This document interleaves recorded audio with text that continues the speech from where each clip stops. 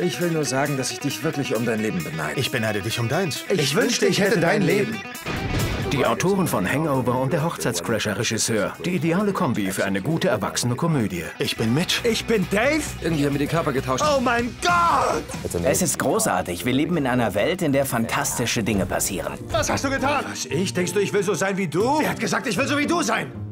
Ein Mann im Leben eines anderen ist wie ein Fuchs im Hühnerbau. Zum ersten Mal in deinem Leben siehst du richtig gut aus. Du bist Single. Das, was uns passiert ist, das ist verrückt. Doch noch verrückter wäre es, es nicht auszunutzen. Kennen wir uns? Sekunde, ihr solltet mal ausgehen. Was? Also, das Wetter, der Verkehr, der Verkehr war einfach... Ich habe ein ganz taubes Gesicht. Sofort nach ihrem Körpertausch wird ihnen bewusst, dass sie wichtige Dinge erledigen müssen, aber nicht selbst können. Also muss jeder den Job des anderen übernehmen. Perfekte Anwälte spiele ich im Schlaf. Wir sind alle sehr reich. Hä? Alle hier im Raum sind sehr reich.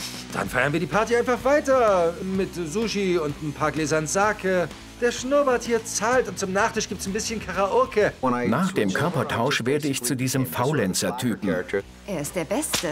Ehrlich gesagt. Ich meine, er ist ein brillanter Anwalt. Einspruch! Oh mein Gott. Als Dave in Mitchs Körper zu diesem Filmset fährt, wird ihm schnell klar, dass hier kein normaler Film gedreht wird. Oh, sieh mal an. Das sieht lustig aus. Die Crew wartet am Set auf dich. Wie gehen die beiden Freunde jetzt miteinander um? Du bist ein hirnamputierter Maulesel, der sich in der Wüste verlaufen hat. Hilflos und dumm, mit einem ständigen Bedürfnis nach Führung. Ergreife nie die Initiative. Tu nie irgendwas auf eigene Faust und weiche niemals vom Plan ab. Wieso? Weil du ein hirnamputierter Maulesel bist, der sich in der verflixten Wüste verlaufen hat. Erst wollen sie das Leben des anderen und dann soll alles nur Spaß gewesen sein. Man sieht, wie gegensätzlich sie sind und welchen Schaden es anrichtet, wenn man das Leben eines anderen führt. Und sei es nur für kurze Zeit.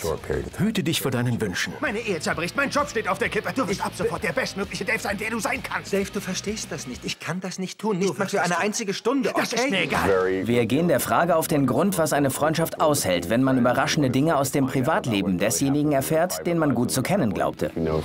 Was sag ich Jamie, wenn sie heute Nacht mit mir schlafen will? Du wirst nicht mit meiner Frau schlafen, Mitch. Wenn sie wie ein Hurricane über mich herfällt, wie soll ich dem widerstehen? Welcher Tag ist heute? Ist heute Dienstag? Ja, weißt du was? Dann ist es kein Thema. Was soll das bedeuten? Habt ihr dienstags keinen Sex? Ich werde sie sowas von rannehmen. Du meine Güte. Ich vertrag das thailändische Essen einfach nicht. Oh mein Gott. Der Film handelt davon, wie sie versuchen, sich durch das Leben des anderen zu manövrieren. Ich kann diesen Scheiß nicht mehr machen. Hör auf zu heulen, es reicht. Halt die Klappe, ich kann dich ja hören. Die Idee ist vielleicht nicht neu, aber das Publikum liebt sie und wir entwickeln sie weiter. Nein, nein, nein, nein, nein, nein, nein, komm mit dem Ding nicht zu dicht an mich ran, ja? Kommt hier mit einem Stinkehintern an. Ich mochte besonders die Botschaft des Films, dass man beides, Familie und Spaß haben kann. Damit kann jeder etwas anfangen. Hey, Zuckermäulchen. Hi, Daddy! Hey. Oh, das ist... Hey, ähm, meine kleine frühreife Tochter. sowas sage ich nicht zu ihr. Doch, tut. Es ist toll, richtig Gas geben zu können. Es hat Spaß gemacht zu sehen, wie man das Konzept des Körpertauschs mal etwas gewagter umsetzt. Wir tun das auf sehr angriffslustige Art.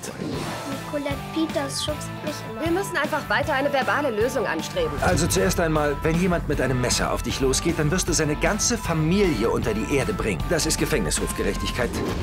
Wie wär's mit einem Eis? Wie ausgewechselt. Eine Frage. Wie lange bist du da unten schon rasiert? So sieht er zweieinhalb Zentimeter länger aus. Nur verheiratete Kerle lassen sich zuwuchern.